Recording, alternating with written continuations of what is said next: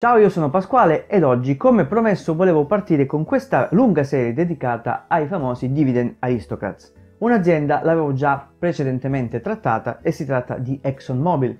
Ovviamente, anche avendone già parlato di Exxon, eh, non credo di rifare un video ad essa dedicata, ma fammi sapere nei commenti qui sotto se invece tu desideri un approfondimento, in quanto nel video originario non approfondivo appunto eh, l'azienda come Aristocrats. Sono parte comunque della mia strategia di investimento. Spero per cui di studiarle bene per passarti più informazioni possibili riguardo a queste famosissime aziende. Ovviamente, puntando su queste aziende non è detto che non si possa puntare anche su una uh, strategia growth, ma essenzialmente chi sceglie queste tipologie di società lo fa principalmente per i propri dividendi. La prima e più fortunata azienda è quella con cui comincio, si chiama Hormel Foods. Essendo il primo video ti spiego come voglio strutturare questa serie. Prima di tutto una eh, panoramica piccolissima, cortissima, generale sull'attività dell'azienda, poi uno sguardo allo stato e ai dati che la definiscono, e per cui quelli economici, ed infine un giudizio finale sia sull'azienda in sé che sul fatto se convengano appunto a quel, punto, a quel punto, al momento appunto della pubblicazione del video, per cui oggi, acquistarla per averla nel proprio portafoglio azionario. Pronto? Bene, Cominciamo. Hormel Foods è un'azienda quotata al New York Stock Exchange. Nasce nel 1891 ed io all'epoca appunto ero piccolo, molto, da George Hormel. Inizialmente solo dedicandosi al packaging eh, dei prodotti inscatolati, ne è poi diventata anche produttrice di tali prodotti. Il suo prodotto più famoso è Spam, la carne in scatola speziata. Spam, spam infatti sta uh, per Spiced Ham, prosciutto speziato.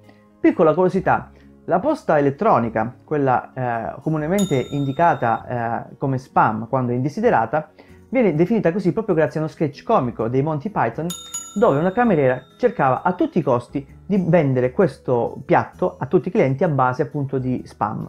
Vabbè, divagazione.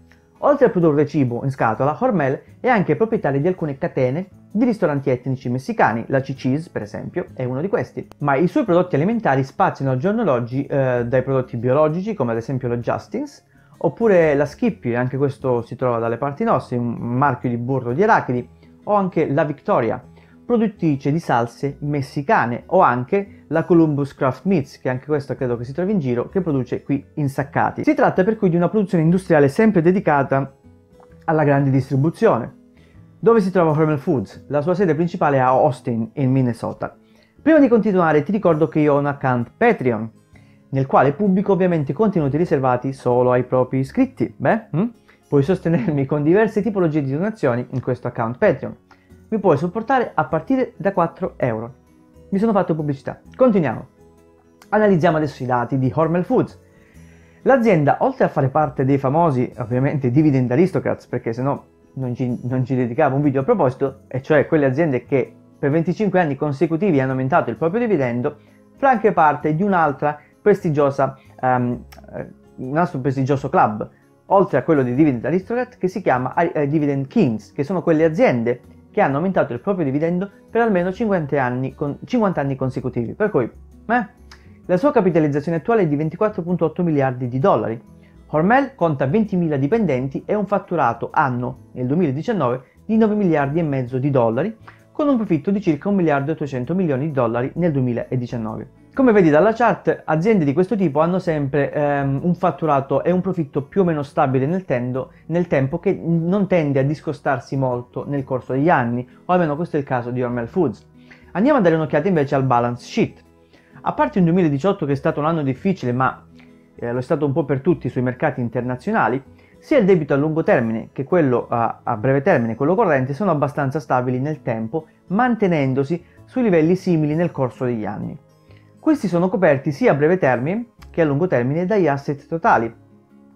Per quanto riguarda quelli a breve termine, sono praticamente il doppio delle liabilities, mentre gli asset a lungo termine sono quasi 5 volte in più delle liabilities a lungo termine. Alla data della registrazione di questo video il dividendo attuale di Hormel Foods è di circa il 2.02%, che ne fa un dividendo discreto ma non eccezionale per chi cerca un flusso continuo di cassa con i dividendi che porta a un dividendo annuale totale di 0.93 centesimi di dollari, ovviamente diviso trimestralmente essendo quotato negli Stati Uniti d'America.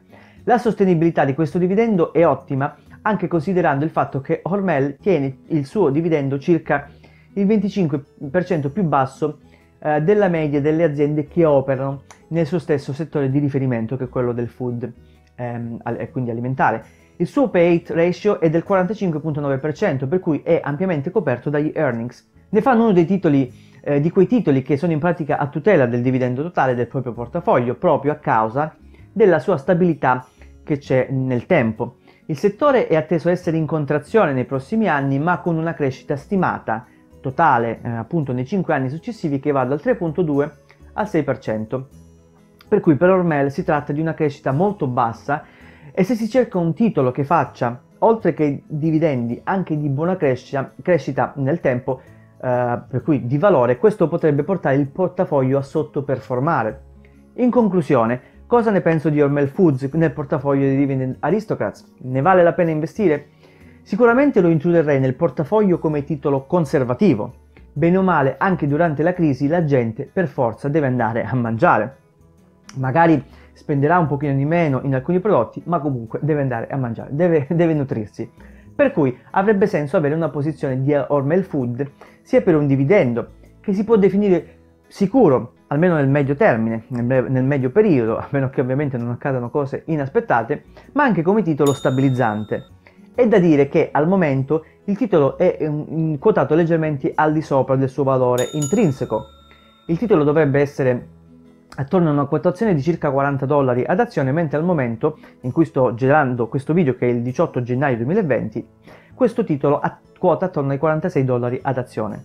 A te le tue considerazioni. Io non sono un consulente e non ti sto invitando ad investire, ma sto semplicemente dandoti le mie opinioni sul titolo di Hormel Foods. Fammi sapere cosa ne pensi di Hormel Foods nei commenti qui sotto. Scambiamoci delle idee su questo titolo e per favore fammi sapere se hai già investito in questa azienda, in, in queste azioni o se ci pensavi di metterci qualche soldino. Se il video ti è piaciuto per favore distruggi il pollice in su, iscriviti al canale e clicca la campanella delle notifiche. E per oggi è tutto e ci vediamo al prossimo video. Ciao!